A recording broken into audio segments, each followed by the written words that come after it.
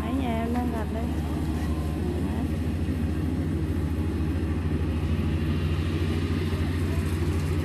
Ai mua thì liên hệ nhá. Máy đang gặp trực tiếp tại đồng đây.